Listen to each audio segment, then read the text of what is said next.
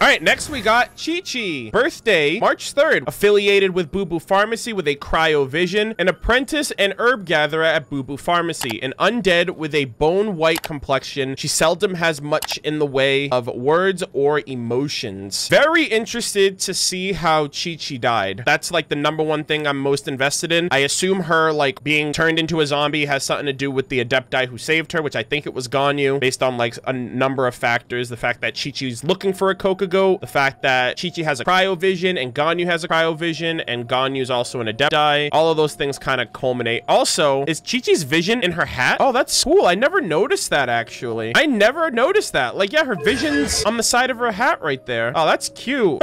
yeah. And like, obviously, I'm interested to see like her affiliation with Dr. Baizhu and Bubu Pharmacy and all that other stuff too. So uh, we're gonna read her story stuff here. Character details. Due to being a zombie, Qiqi lacks facial expression. She hopes that's okay. she may look like a zombie, but she's surprisingly limber due to a strict calisthenic regimen. Her memory is poor, she forgets easily, and that is partially why she can seem cold to others. Her appearance is forever frozen at the point of her- wait, her appearance is forever frozen at the point of her passing, so estimates of her age are unreliable. Wait, so she died as like a kid? So she doesn't age? Zombies require order to act, but due to some reason or another, Qiqi is presently giving herself orders. Interesting. Character story one. Usually zombies are cold and stiff, which forces them to locomote by hopping about. We haven't seen zombie zombies in this game yet, so I it's very weird. I wonder if we'll see any type of like necro necromancy or anything of the sort as the game progresses. As such, Qiqi keeps up a calisthenic regimen to retain a human-like form. The 77th generation director of the Wangsheng funeral parlor, Hu Tao, doesn't see the point of this at all. Whenever she meets Qiqi, she will say, it would be easier if you just let me bury you. Yeah, so they don't, I don't think Qiqi likes Hu Tao very much because Hu Tao's trying to put her in the ground and end her life. And like, imagine that. Imagine if there was a way to just turn everyone into a zombie like Qiqi, Hu Tao would be out of business. So I, I kind of get that dynamic. That's funny. Qiqi, of course, has no wish to be buried and so conducts her exercises at night when no one's about. Qiqi's memory falls far below those of non-dead dispositions. If she does not continue to reinforce her impressions of someone, she will completely forget them in three days tops. That is so wholesome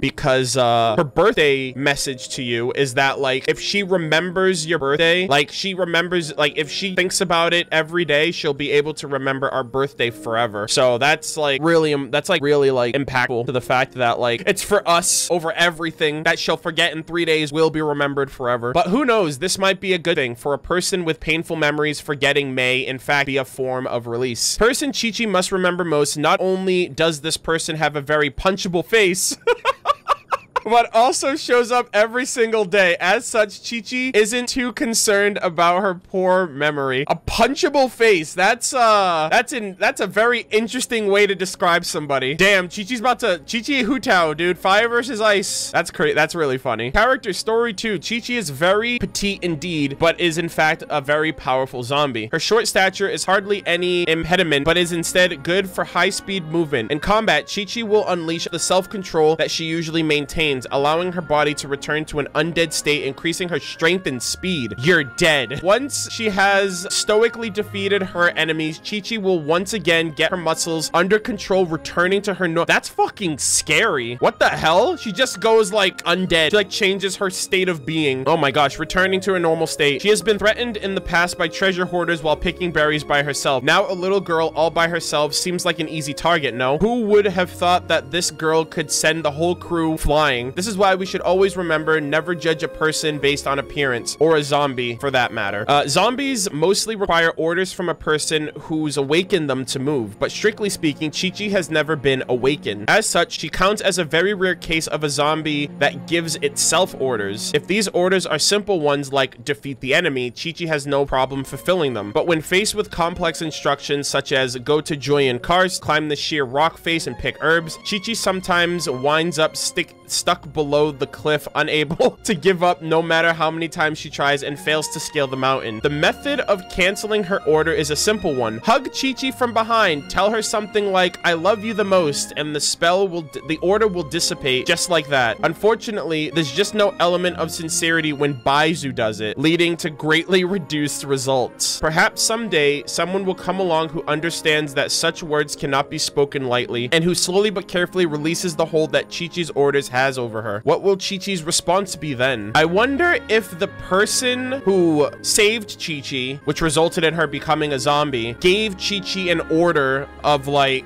like self-aware, not self-awareness, but self, like uh, autonomy. Like basically was like, do your own orders and then like left or something like that. Cause like, let's just say it was Ganyu, like I'm thinking. Ganyu wouldn't be like, oh great, now I get to control this person. She would want Qiqi to live her life. So I wonder if it's like that. I wonder if it's like uh, an order put upon herself to to do things for herself, you know, instead of somebody else asking to. I don't know about Dr. Baizhu either. I don't know if Dr. Baizhu has anything to do with it, especially since he they said here that Dr. Baizhu um, usually cancels her orders, but they they don't have as much of an effect because he doesn't, you know, he doesn't say it with sincerity. So I don't really know. Character story four. This ancient story has been forgotten by mortals. An ordinary herb picking lass named Qiqi lost her way and trespassed the realm of the Adepti. Injuring her right leg in the fall, she hurriedly hid in a cavern to rest. Oh, so this is like how she died, I think. Even occupied as she was bandaging her wounds, she could hear things that did not belong to the mortal plane. But she could have never expected that with a huge crash, she would forever be trapped between life and death. Whether Adepti or demon, just or wicked, all understood that she was an innocent mortal caught in the crossfires. Oh, wow. Or perhaps it was all the will of heaven that she received a vision in her dying moments, and so ended the contention between Adepti and demon. The Adepti could not bear to let her die, and each imparted to her a portion of their strength, meaning to breathe life back into her body. Wait, wait, so this was like a group effort? The Adepti could not bear to let her die, and each imparted to her a portion of their strength, meaning to breathe life back into her body. Qiqi did indeed awake and live again, but went into a berserk state, unable to control the Adepti energy raging through her. Seeking to end the disruption, Mountain Shaper had no choice but to seal the hapless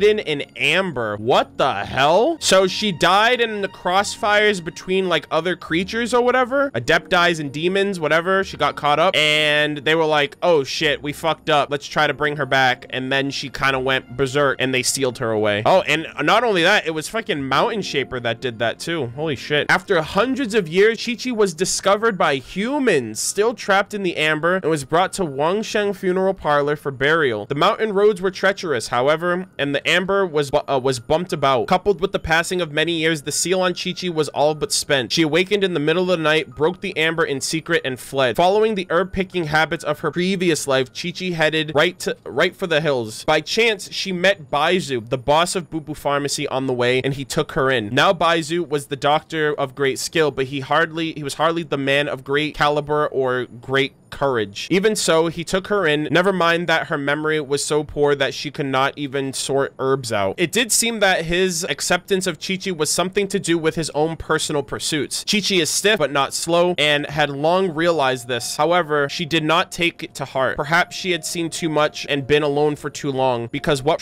what remains true is that she treasures his concerns even if there are some other motives behind it. Isn't Dr. Baizhu like sick? Isn't he does he have like an illness? So maybe he's you know what I mean? If you have like an undead being, maybe you can conduct experiments to try to find a cure for your sickness while not putting yourself in danger because you're alive. Whereas maybe, maybe that's what he's doing, you know? I mean, I don't know if that's what he's doing it for. I don't know if he's like a nefarious individual, but that's the first thing that I think of. It's like, holy shit, this person just literally crossed paths with me. They're like a perfect specimen or like research subject or experiment subject to test out his medicine to see what'll work for him. And, uh, you know, also Qiqi is kind of like a, a great like link to like potential immortality. I mean, I get it. Her most of her essence comes from Adepti. You know what I mean? That's why like most of all of her her skill and her elemental burst is Adeptus art because she's infused with the elemental energy with the Adeptal energy of the the Adepti that saved her. I wonder if it was like Mountain Shaper, Moon Carver, Cloud Retainer, Ganyu. I don't know how many of the Adepti that we know that had a hand in bringing her back, but they said each. So Madam Ping, Xiao, Ganyu. You know, I think that would be really cool if all of them pitched in. A Home and Away Handbook of Practical Wisdom for the Undead. Qiqi carries something with her that looks like a notebook. Qiqi's memory is very poor, so it is an object of irreplaceable importance if she is to smoothly go about her daily life. The words within are written in a century-old style and are very elegant indeed. The first page is an, is an instructional on calisthenics. Moving past that, one finds the description of various herbs and some orders. Qiqi needs to give herself orders, so she has very precise instructions to ensure smooth transition positions. She has also dutifully written down all the things she needs to do in a day. Recently, she's also added a section on brain training and mnemonic methods. At this point, it is becoming a true dummy's guide on just about anything. But what if the day ever comes when Qiqi also forgets to look at the notebook? There would truly be nothing for it then. Yeah, that's pretty scary. That's like her lifeline. That's like her lifeline book to kind of live and be functional. Yeah, Qiqi's great, man. Qiqi's awesome. It's so unfortunate, like her life. Like, and then she just dies, gets resurrected, gets sealed for hundreds of years, and in the world that she lives in now, she knows nobody, nobody, like, she knows nothing. Completely different world. No family, no relatives, no nothing. I don't even know if she really can express herself properly, like emotions anything. Like, she speaks very mon monotonous as well. So, um, yeah, I don't know. I, I mean, I, I could hardly say if she's even, like, truly living. And then she got her vision at the moment of, right before she died, like, at the moment of her death. Qiqi's vision was given to her on the last moments of her life. She wanted to stop the clock from turning. She wanted to live happily again. She feared death. She wanted to live. She missed her family. These feelings co coalesced at last into ice. If only I could freeze time. How wonderful would that be? As she thought thus, tears fell from the from the moribund girl's eyes upon the vision that had appeared before her. The mighty and illuminated Adepti all acknowledged this as a legitimate form of illumination. The yearning of humanity for bygone days is, after all, a desire to protect that past. So she got a vision and she was blessed with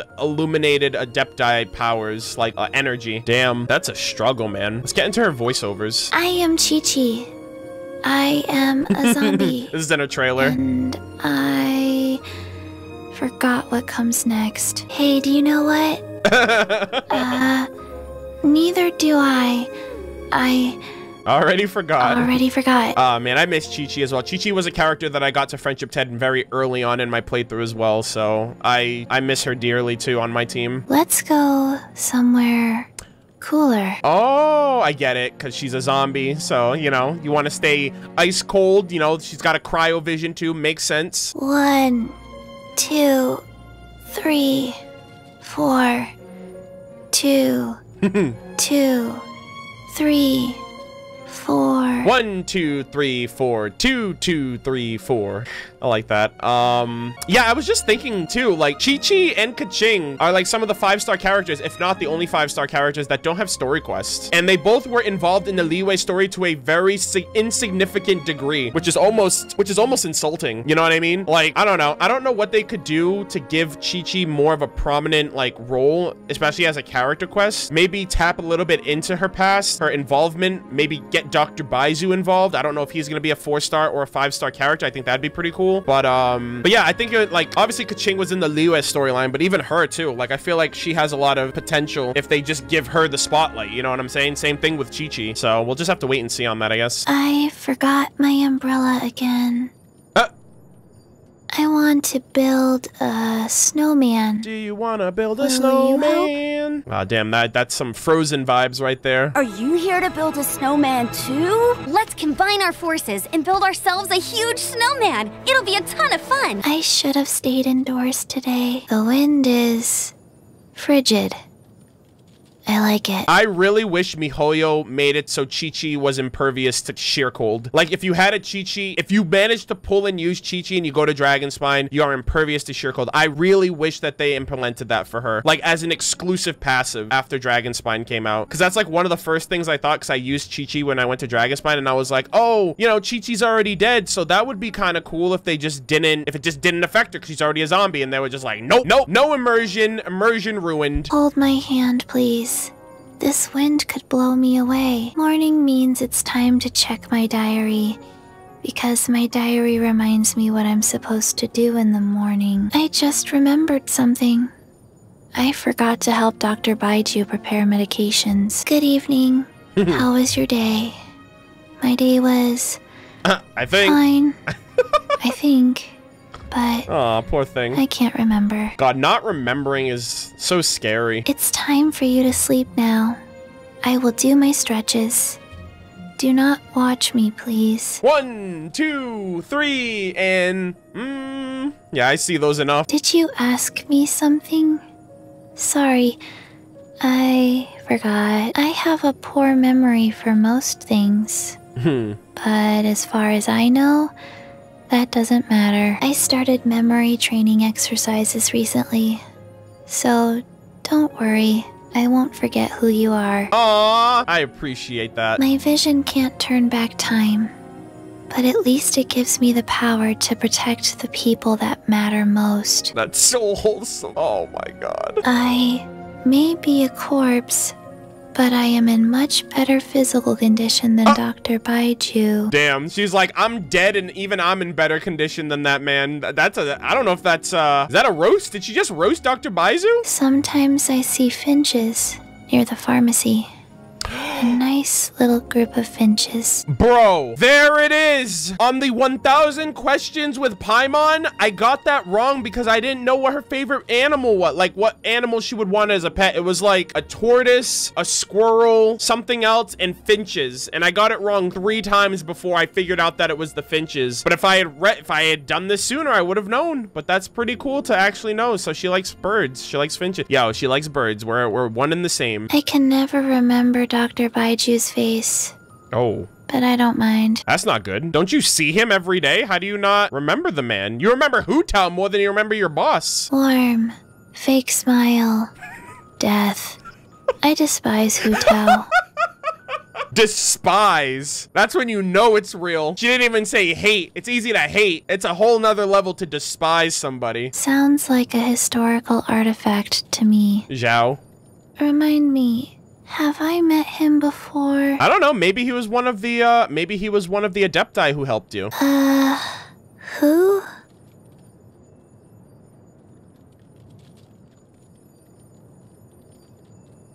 Damn. Damn. Yeah. Yeah, that's a roast. That's a fuck. She just ended Xinyan's whole career right there. Who, who's that? Who's Xinyan? no one knows who Xinyan is. Not relevant. No one uses her. Oh, man. That's literally the fandom in a nutshell. Who's Xinyan? Who? Don't worry. I'm building Xinyan when we go to Inazuma after my Noelle is Friendship 10. Cute. Like a nice. Oh, another Yao. Yao. Dude, I want I I can't wait to get this character. I can't wait to learn more about this character. We haven't seen them in the game obviously, but it's kind of cool that MiHoYo is like early teasing some characters that have yet to come out. Oh, Dusty Ming. What? On some nights, I almost feel like someone is doing stretches together with Oh, me. that's so nice. But maybe I just have an overactive imagination. Wow. Wait, does she go all the way out there to freaking the Wang Shu Inn? Dusty Ming was at the inn, and she's the one that like took over that like that ruin hunter at that you know for that one quest. So that's I wasn't expecting her to mention an NPC. That's kind of cool. What's going on? I perform stretches regularly to help me maintain the same range of movement as a normal human being. Hmm. But as soon as I stop doing them, the rigor mortis starts to set in Oh again. no. Yeah. You gotta you gotta you gotta stay fit or you're gonna get stiff, literally. Some people want to take advantage of me. Oh. Others are terrified of me. Dr. Baizhu. But you. You are not like any of those people. Dr. Baizhu, you better leave this girl alone. She did nothing. Since we first met, I have had a warm feeling inside. Not the kind of warmth that ah. makes me feel rotten. The other kind of warm.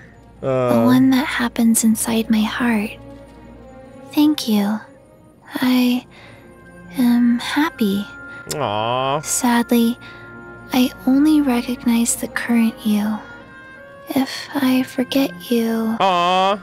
no, I will order myself to remember you. Damn, she's like, remember him. And it's just like, okay, I will.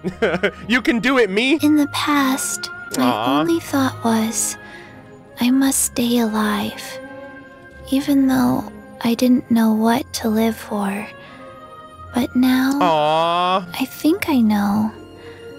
I want to live with you. I want to ask, can we always stay together for the rest of life? Aw. Until death? Yes or no? This is too much. Yes? Is that your real answer? Yes, Good. let's go. Excellent. I promise to always protect you. God, man, that's too wholesome, dude. Qiqi was my first healer to Friendship 10, so I like, I take that like really personally. Like, people shit on, people talk so much shit about Qiqi because she's not like a busted five star that maximizes absolute OP mega damage that you can do like crazy damage like Bennett or any other character. I like, all right, stop talking shit about Qiqi. Let her live, all right? She's a good character. I want to have a pet. For example, a nice little finch. Okay, so the last one was just she was interested in finches. This one confirms that she wanted finches as a pet. Okay, I my I still stand by what I said before. I don't know why, but high temperatures make me feel disgusting. Yeah, I think that would be for any corpse. I like coconut milk, Ah! but I don't know what it tastes like. Yeah, the cocoa goat. Yeah, the coconut milk. That's so funny. Sorry, I have no idea. Oh, she doesn't dislike food. Now I have more power. But what does that mean? Please explain. Ah, I understand. When I get stronger, I need to put more effort into controlling my strength. In the past, I did not understand the idea of being stronger than I already was.